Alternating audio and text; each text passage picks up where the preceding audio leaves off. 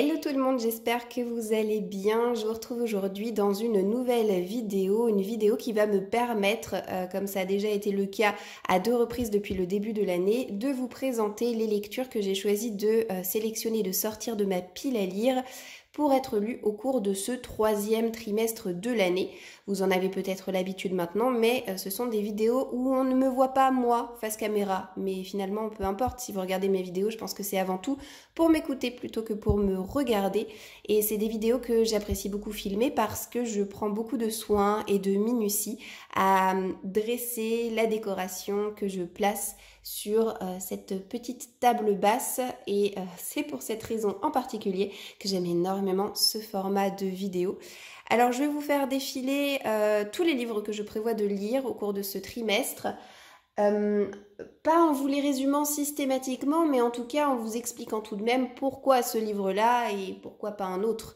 Voilà, donc euh, le seul livre que j'ai en cours pour le moment, c'est celui-ci que vous voyez présenté. C'est La discipline positive. C'est un livre euh, sur la parentalité, euh, donc bienveillante. C'est un livre de développement personnel et c'est également un livre qui ne m'appartient pas, qui appartient à l'une de mes belles-sœurs qui me l'a prêté. Et j'ai déjà eu l'occasion d'en lire 150, 160 pages dans ces eaux-là. Euh, j'ai bon espoir de pouvoir le lui rendre à la fin du mois d'août lorsque nous nous reverrons.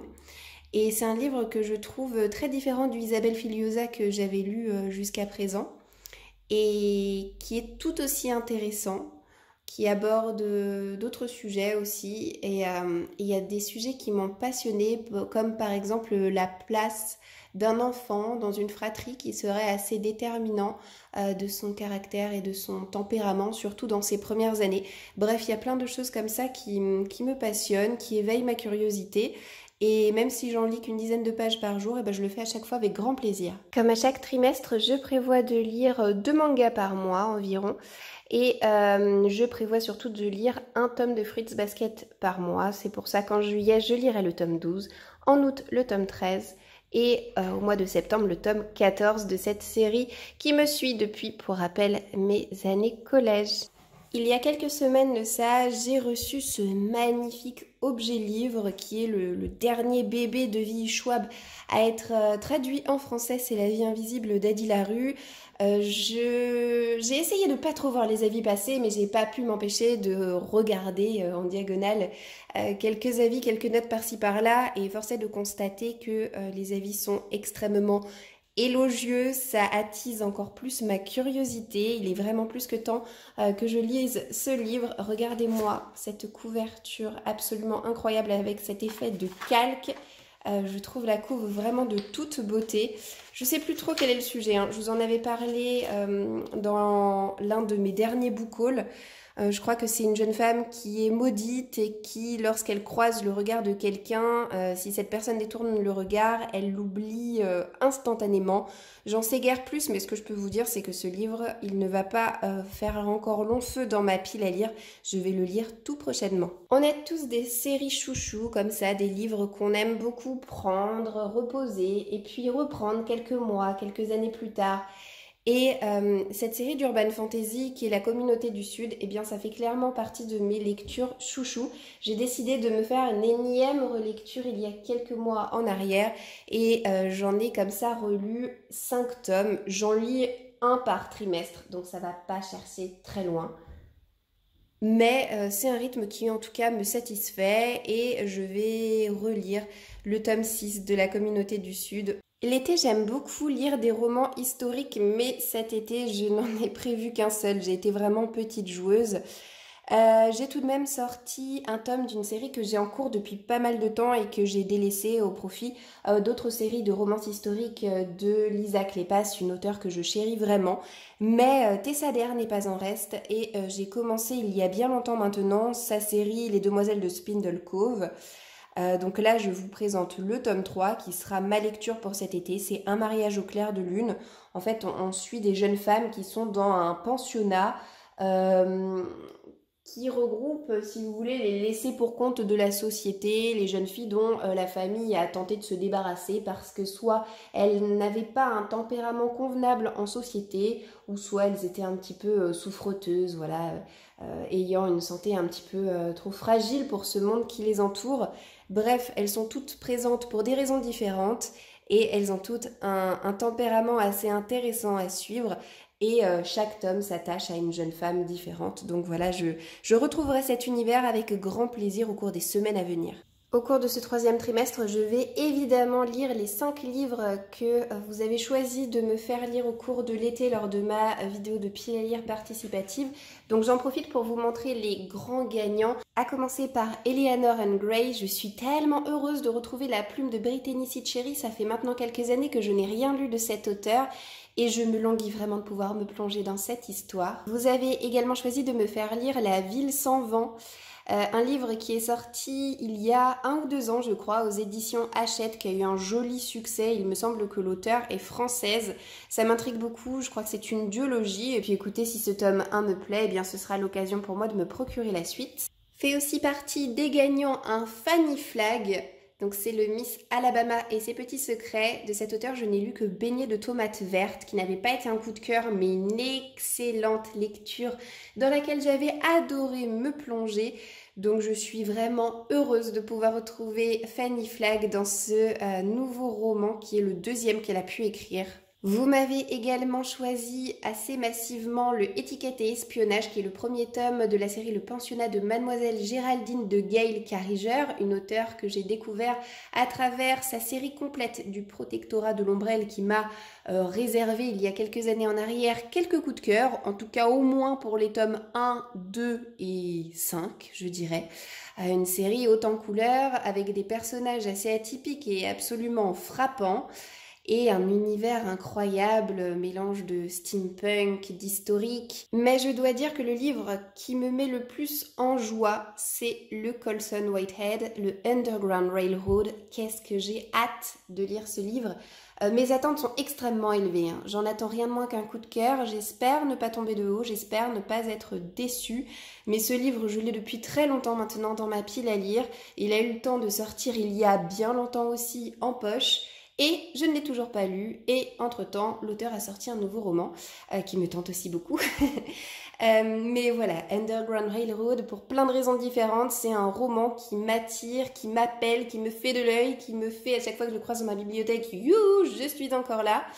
Et ça va bientôt être son tour, enfin. Avec une couverture mais mignonne à souhait, j'ai décidé de lire ce manga au cours de ce troisième trimestre. C'est le premier tome de la série Beyond the Clouds. Euh, qui est sorti aux éditions Kiyun il y a un bon moment, ce qui m'a un peu freiné dans le fait que j'ai pas lu ce manga plus tôt.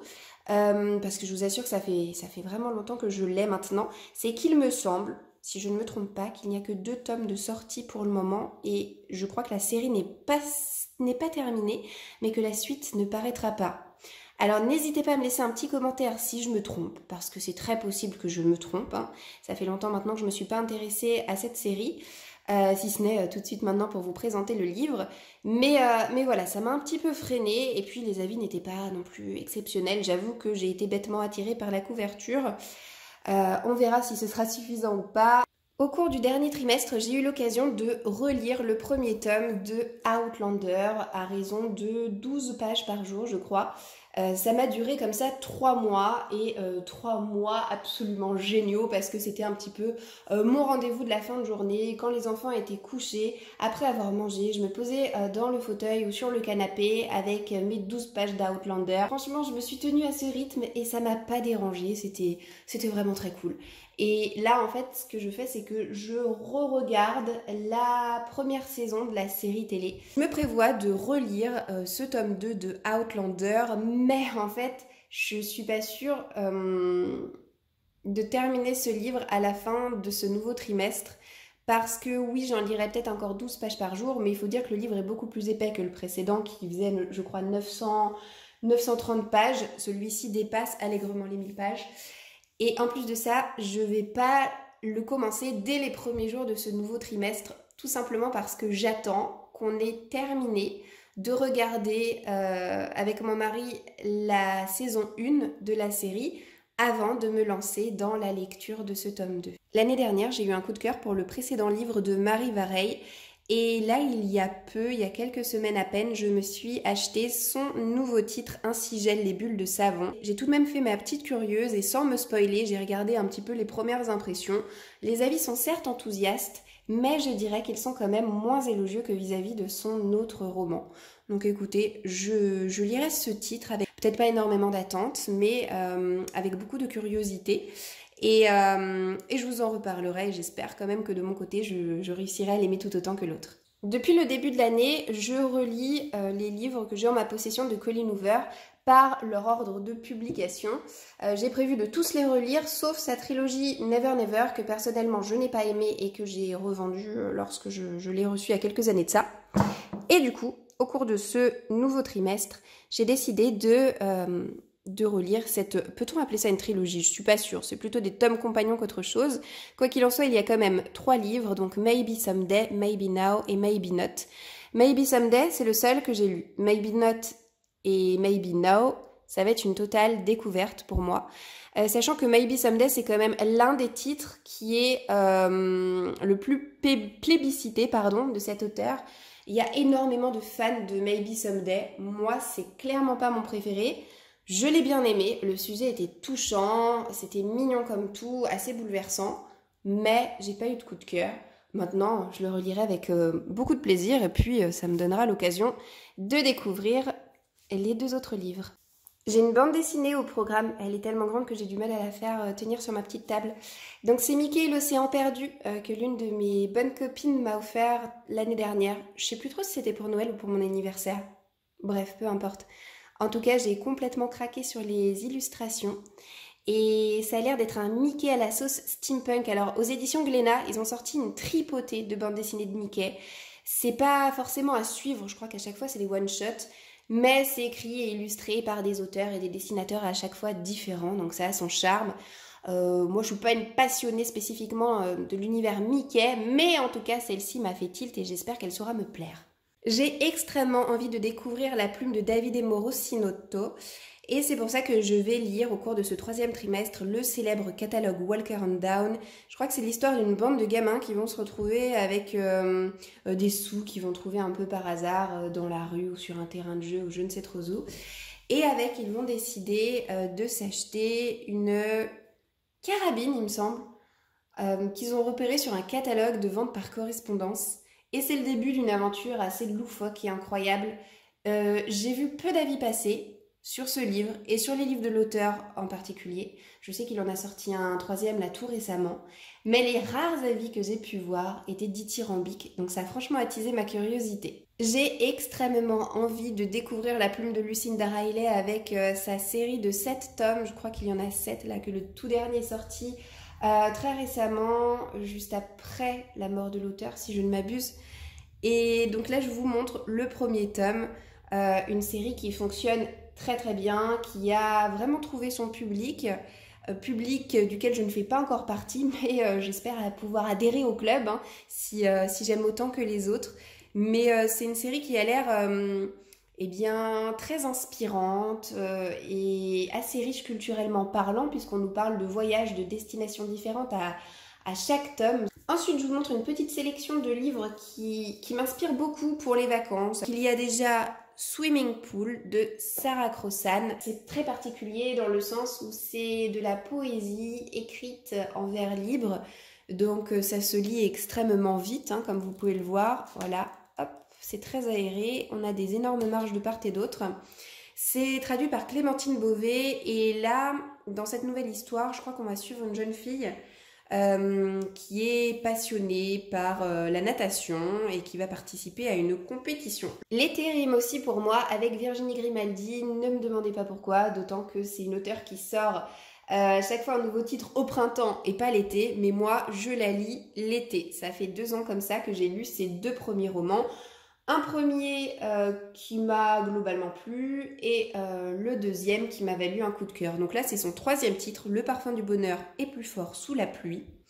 Et euh, j'espère qu'il me provoquera un coup de cœur à l'image de son livre précédent. Autre lecture qui est pour moi synonyme de vacances, peut-être parce que On nous parle de mer parce que c'est une couverture qui me semble assez estivale. C'est la petite boulangerie du bout du monde, l'histoire d'une femme euh, qui va tout plaquer, sa famille, son boulot, pour aller s'exiler euh, dans une petite île qui est, je crois, située au Cornouailles. Voilà, c'est ce que j'avais en tête.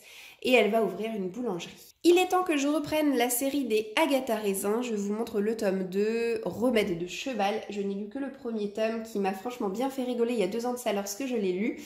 Et euh, je suis assez déçue de moi-même de ne pas avoir eu la curiosité nécessaire et l'envie de euh, lire la suite plus tôt. Mais voilà, je, vais y remédier cet été. Je compte bien euh, poursuivre l'aventure avec, avec le tome 2 d'Agatha Raisin. Et pour finir, le dernier roman que je vais lire pendant les vacances, c'est La sirène et le scaphandrier. Je veux dire, évidemment, le titre est assez évocateur de l'été.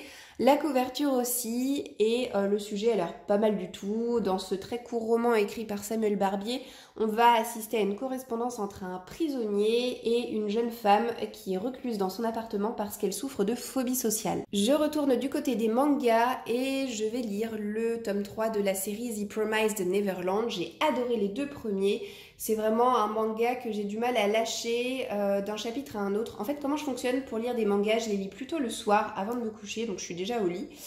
Et je me dis, allez, je lis qu'un seul chapitre. Et c'est vrai que ce manga, contrairement aux autres, ouf, à la fin d'un chapitre, c'est difficile de le reposer. Le tout dernier roman euh, de cette euh, pile à lire trimestrielle, ça va être le journal de Gertie, un livre que j'ai placé dans la petite partie de l'étagère euh, dans ma bibliothèque qui est consacrée aux, romans que je ferai lire à Marius quand il sera plus grand, qu'il sera en âge de euh, déchiffrer du texte par lui-même. Donc euh, je sais pas, quand il aura 8 ans, quelque chose comme ça, j'imagine, 7-8 ans. Donc c'est écrit par Bertrand Santini, c'est très très très jeunesse, c'est vraiment pour les enfants. C'est écrit extrêmement gros et euh, c'est l'histoire d'une chienne qui s'appelle Gertie, qui tient un journal et qui, je crois, est en vacances dans le sud-ouest de la France, il me semble. Donc il y a pas mal de tomes pour le moment de sortie, mais ça me semble très frais, très décalé, très humoristique, très estival. Donc voilà, je lirai rapidement cette lecture cet été. Et le dernier ouvrage graphique, le voici le voilà, je lirai le tome 3 de la série Minuscule, un manga où au départ j'avais quelques réserves, c'est-à-dire que moi j'ai un peu de mal avec les mangas qui ne racontent pas une longue histoire, mais où chaque euh, petit chapitre peut être lu de manière indépendante et où chaque petit chapitre est une histoire à part entière. Voilà. Mais je me suis finalement habituée à euh, ce type de narration. Et c'est un univers extrêmement mignon et euh, qui me permet de me vider la tête et de me détendre dès lors que j'ouvre les pages de cet ouvrage. Donc ce sera parfait pour cet été. Euh, je sais pas exactement combien de livres j'ai pu vous présenter dans cette vidéo. Attendez, on va compter rapidement. Je crois qu'il y a 26 livres, c'est énorme, en comptant les, ouvrages graphiques quand même. Mais je me dis qu'à partir de septembre, Marius sera à l'école et j'aurai plus qu'un seul enfant à la maison. Donc j'aurai potentiellement davantage le temps de lire. Sur ce, je vais vous laisser. N'hésitez pas à me faire savoir si ce type de vidéo vous a plu parce que là, euh, je, vous fais ça jusqu'à la fin de l'année, mais je sais vraiment pas si euh, je recommencerai l'année prochaine. Tout simplement parce qu'il y a eu quand même une, bonne baisse hein, de vues entre la vidéo du premier trimestre et la vidéo du deuxième trimestre. Euh, si je vois que ça n'intéresse pas grand monde, écoutez, euh, bon, moi j'adore faire des petites décorations sur les tables, mais dans ce cas-là, je continuerai dans mon coin uniquement pour faire mes photos de livres pour Instagram et pas pour, euh, pour tourner des vidéos complètes. moi, je trouve que ça quand même sympa comme idée de vidéo parce que je trouve que ça donne toujours des idées de lecture et des petites choses à ajouter dans les wishlists. Donc bon, voilà, ça donne de l'inspiration et, et c'est chouette. Donc n'hésitez pas à me faire savoir si ça vous plaît. Euh, histoire que je sache si euh, oui ou non je continue l'année prochaine. Je vous souhaite en tout cas de passer une très belle journée de votre côté. Je vous dis d'ores et déjà à bientôt dans une prochaine vidéo. Ciao ciao